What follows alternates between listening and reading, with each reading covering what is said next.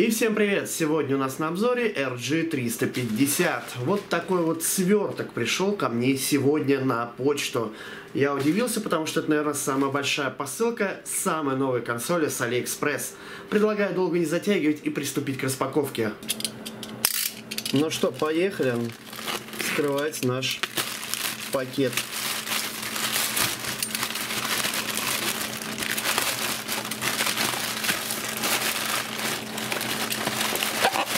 Внутри вроде бы обычная коробочка. Эх, мечты, мечты.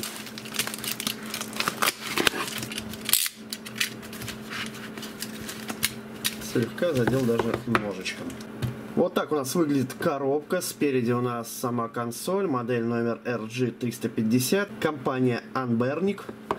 Э, внизу у нас, э, как консоль снизу, э, клавиша на консоли, комплектация консоль, э, зарядный кабель, инструкция, цвет у меня черный. Ну и здесь основные характеристики консоли. Это 3,5 дюймовый экран с разрешением 320 на 244 к 3. Процессор здесь новый, Jet Z4770 1 ГГц, оперативной памяти 512 мегабайт и э, карта на 16 гигабайт. Э, поддержка Type-C, Э, индикаторы, стерео, динамики, аккумулятор 250 тысяч мАч и э, производитель заявляет 6 часов работы. Также поддерживается карта объем до 64 гигабайт. Здесь у нас сверху сама консоль, к ней мы перейдем позже. И под ванночку у нас находится кабель для зарядки и, как и обещано, инструкция как всегда, представляет себя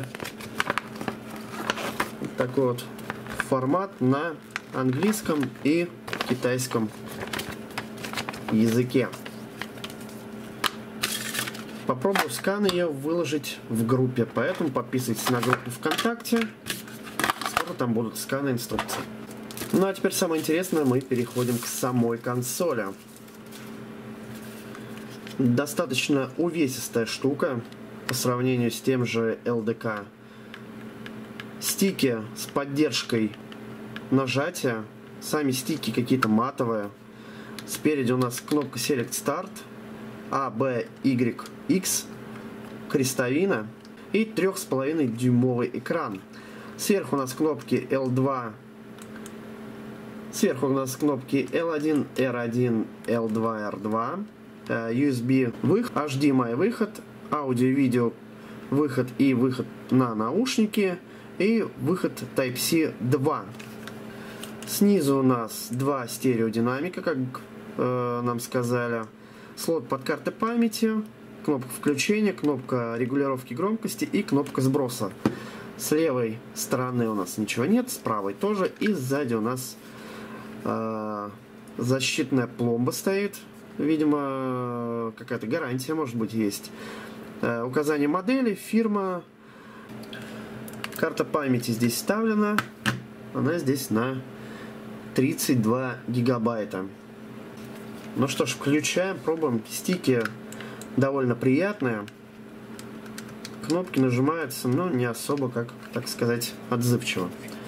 Включаем нашу консоль.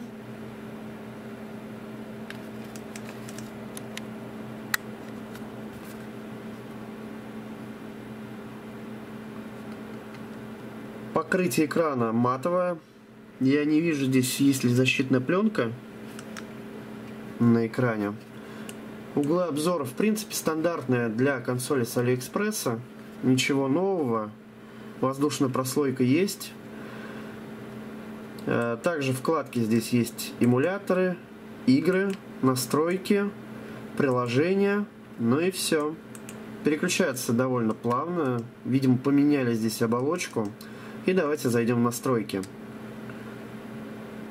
А, build здесь 14 сентября 2019 года. То есть вот практически как она появилась на AliExpress, сразу выпустили и build. Игры, которые здесь встроены, в принципе, э, все стандартные. Здесь добавился Open Sonic, Puzzle Tube. Наверное, здесь, опять же, одной из самых больших коллекций игр. Итак, спустя какое-то время я уже обновил себе прошивку. Билд изменился на 21 октября 2019 года. Было много чего добавлено. И, в частности, обновился эмулятор PlayStation 1, где э, были добавлены стики. Э, то есть до этого эмулятор работал без определения аналоговых стиков, и, соответственно, не подключались они к нему. Процесс обновления здесь, конечно, не слишком простой. Нужно будет э, вскрывать консоль, заднюю крышку, 4 болта, и под ней уже находится флешка, э, на которую, соответственно, вы уже ставите скачанный образ прошивки. Обещаю добавить прошивку через приложение, как будто вы установили, но пока, пока это не налажено. Вообще радует, что китайцы не забрасывают... Вообще радует, что китайцы не забрасывают свою консоль, а продолжают над ней работать. Ну а теперь давайте перейдем непосредственно к эмуляторам. Эмулятор NAS здесь работает просто отлично. Каких-либо вопросов у меня не возникало. Все игры идут плавно и так, как на оригинальном железе. Давайте посмотрим несколько из них.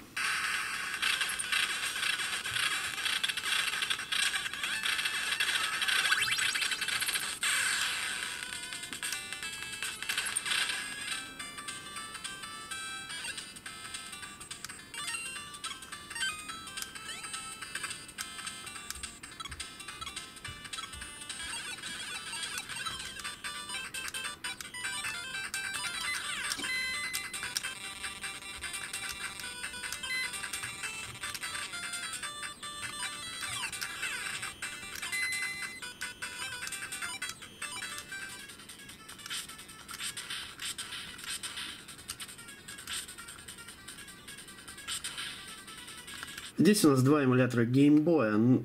По сути, один Game Boy, другой Game Boy Color, но по факту оба эмулируют э, обе консоли.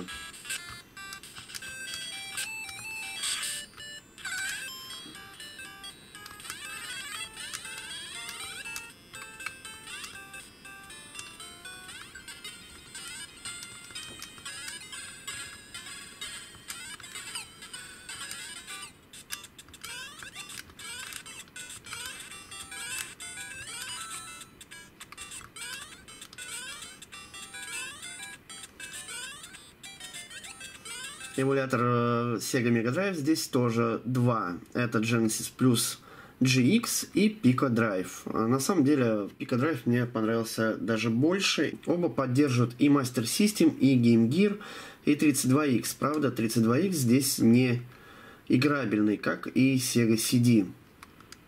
Вот так вот выглядит 32X. Дикие-дикие тормоза. То ли эмулятор, то ли все-таки консольное железо еще не может воспроизводить данную консоль. Ну, то есть играть невозможно. Sega Mega Drive здесь также проблем нет. Давайте взглянем. Есть поддержка шестикнопочного управления. Вы можете настроить любые э, кнопки э, в настройках. Соответственно, Genesis 60 FPS, Mega Drive 50 FPS. Ну, давайте какие-нибудь быстренькие игры посмотрим.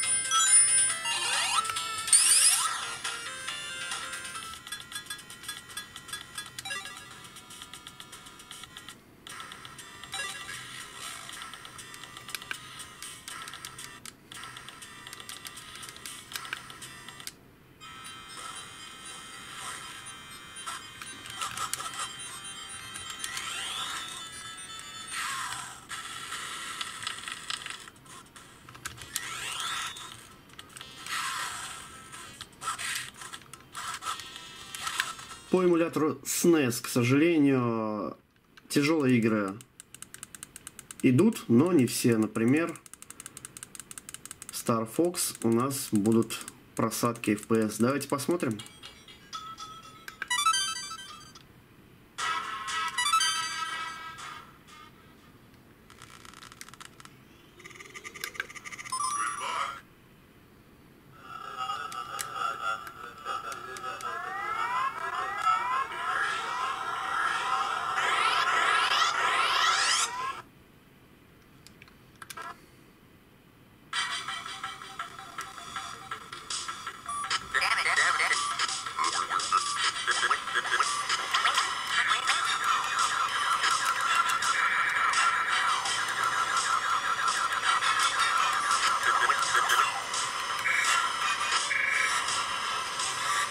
Ну вот, например, Йоши Исланд работает нормально.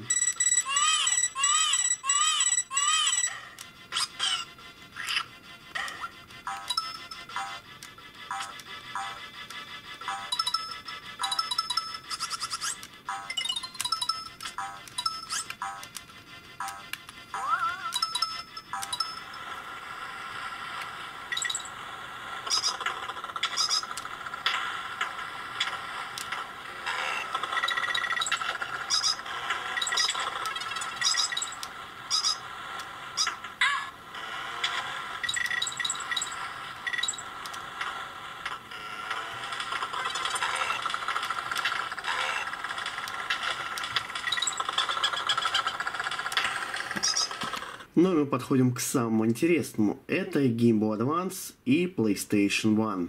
Начнем с первого.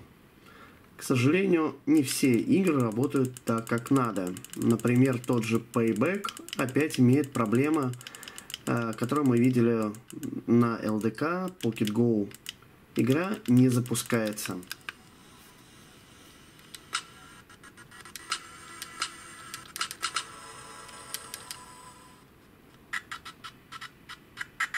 Как мы видим, здесь она просто неиграбельна.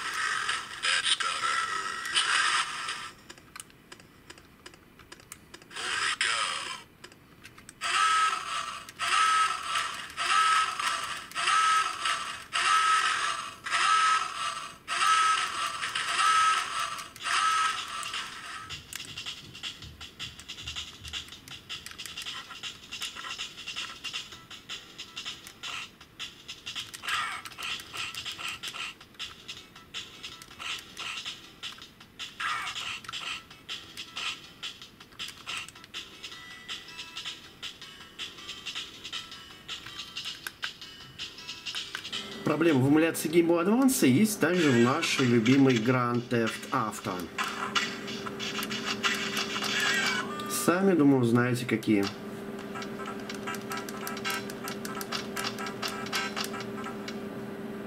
Ну вот и все. Поиграли. Что касается PlayStation, здесь она также работает очень хорошо. А наличие кнопок L2 и R2, а также двух аналогов, э, решает проблему некоторых игр, в которые раньше было невозможно играть. Итак, в Человеке-пауке, например, с помощью кнопки R2 мы спокойно можем перемещаться э, на паутине без всяких ухищрений, не зажимая 33 клавиши. Bushido Blades прошлой консоли не тянули в 60 FPS всегда. Были все равно просадки до 40 кадров в секунду. Здесь же мы видим стабильные 60.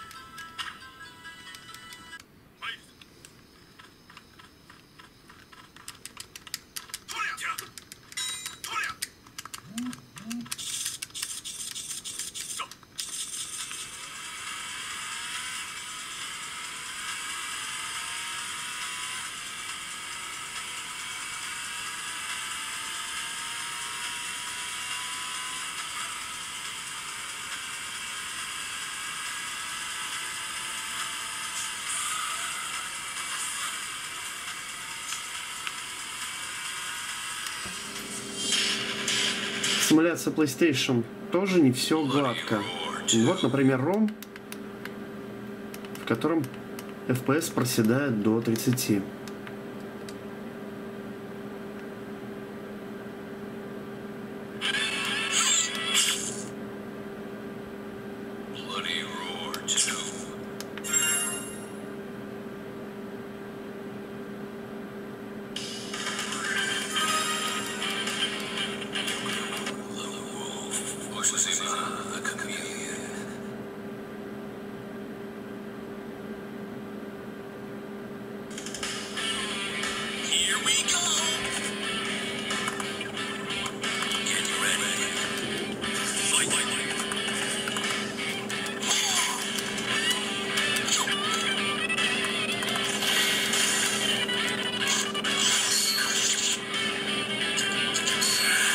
Поэтому, если протестировать какие-то игры, наверняка их будет больше, чем одна.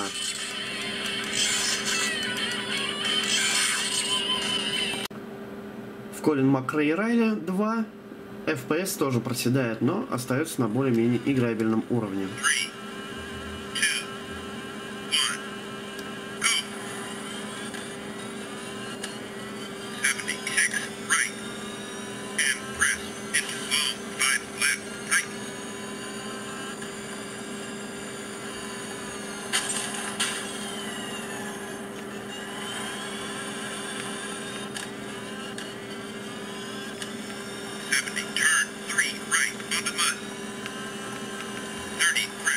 Самое интересное, что здесь есть вибрация, например.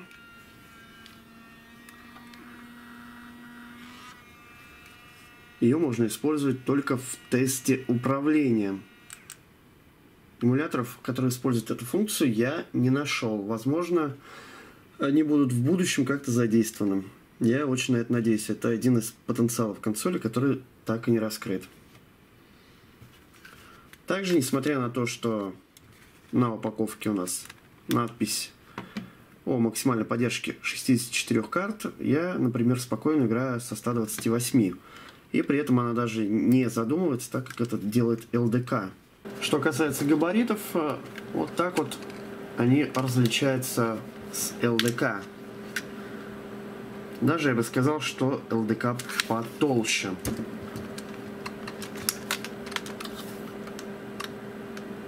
Ну и дисплей э, в RG350 гораздо больше. Ну, конечно, элемент портативности немножко так утрачивается. Итак, вот такой сегодня у нас получился обзор на RG350. Что я могу сказать, подводя итоги? Консоль мне понравилась. Конечно, очень приятно, что китайцы до сих пор допиливают прошивку и регулярно выпускают новые версии билды. Э, чинят доделывают. Но вопрос, когда они остановятся. Ведь, как известно, китайцы могут поддерживать, поддерживать и резко поддержку эту прекратить. И тупо выпустить новое устройство, потому что в этом они, допустим, что-то не могут сделать. Конечно же, консоль не лишена недостатков.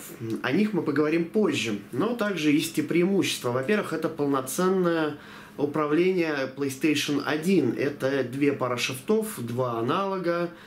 А, и достаточно идеальная эмуляция практически всех игр, которые я тестировал. Есть, конечно же, в библиотеке, возможно, какие-то игры, которые я не охватил. А теперь давайте поговорим о недостатках. Э, во-первых, это то, что консоль, конечно, еще не допилена. Например, у нее не используется аудио-видео выход. И хоть китайцы и говорят, что в будущих прошивках это исправят, э, они могут всегда ее прекратить, выпустить новое устройство с уже изначальной поддержкой видеовыходов, а на это просто сослаться то, что данный чип, там данная плата не поддерживается, и мы не можем это никак завести, и в принципе все это сойдет на нет. Также не идеальная эмуляция Game Boy Advance, несмотря на то, что PlayStation 1 работает идеально, Game Boy Advance по-прежнему имеет те же проблемы, что и со времен LDK, Pocket Go, BitBoy, ну и, собственно, всех консолей, которые построены на данной платформе. По аккумулятору достаточно автономная штука, все-таки аккумулятор э, справляется со своей функцией, как написано, э, конечно, не до 6 часов, но работает намного дольше, чем тот же LDK или BitBoy. По поводу эмуляции также здесь не идеально работает SNES, например, тяжелые игры, такие как Star Fox, Tomb Trace, которые использовали дополнительный чип. Здесь, конечно, идут с просадками до 30 кадров в секунду.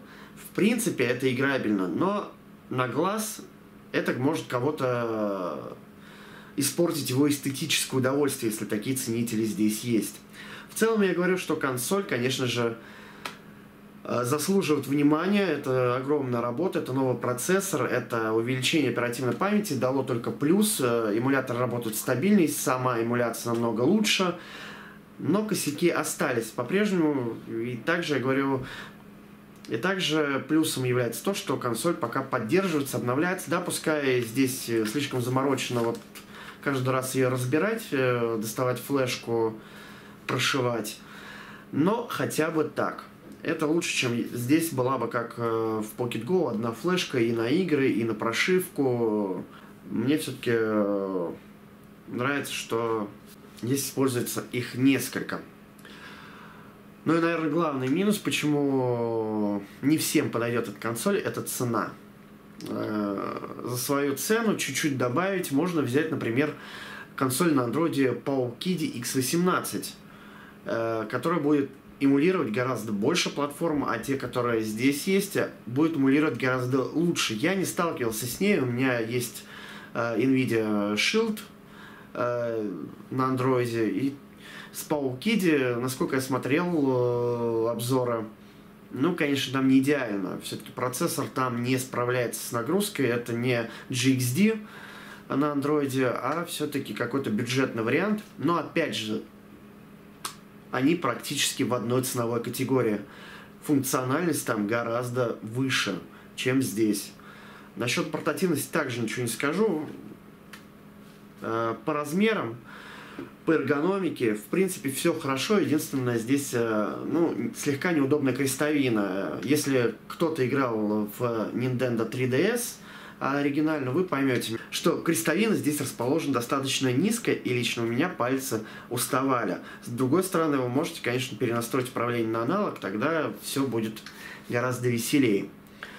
От себя скажу, что консоль мне понравилась. Я, скорее всего, ее буду использовать как основную, потому что пока на данный момент ничего лучше нет. Есть консоль на Raspberry Pi, но там, опять же, не полноценное управление. Там один аналог и одна пара шифтов. Опять же, полноценно в PlayStation игры не поиграть. Ну и также экран там гораздо хуже, чем здесь. На этом, пожалуй, все. Смотрите э, сами, покупать, не покупать. По поводу цены я уже сказал. Эта консоль не для всех. Если бы они ее сделали как RG300 по цене, как LDK сейчас э, можно найти за 2-2,5, так же как и Pocket Go, э, тогда бы это был хит. Если вам понравился обзор, ставьте лайки, подписывайтесь на канал, пишите свои комментарии обязательно по поводу этой консоли, ну и в принципе китайской промышленности. У меня на этом все. Всем до встречи. Пока.